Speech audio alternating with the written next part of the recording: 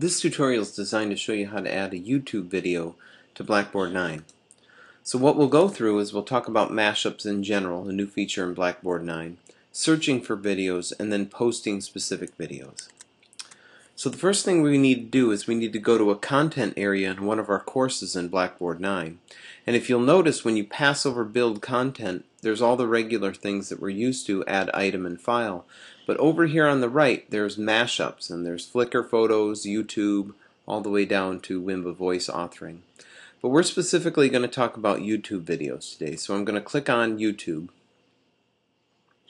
Now, I may want to find a video from this from this um, search area here and maybe I want to find a video on Blackboard um, wikis and I went that in all of the words in that and I hit go. And what will happen is it'll show me a bunch of different videos that I could add on this. And I could click on any one of these and hit select.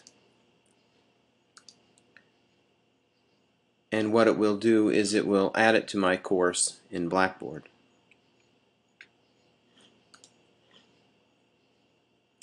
And then I can also add a little description here so I can put what I want students to do with it and then what I want to do is hit submit.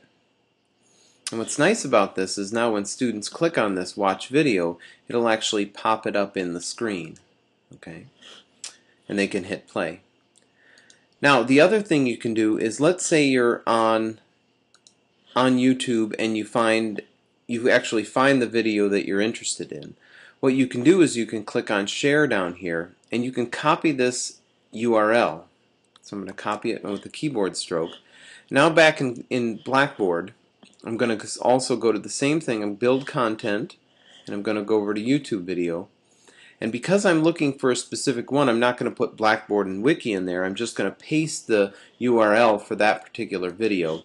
And when I hit go, it'll bring up that specific video. So I'm going to hit select and I'll go through the exact same thing. So I could put some information down here and then I'm going to hit um, submit.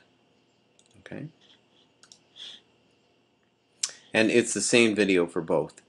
So that's how you add a video using the new mashup. Thanks for watching.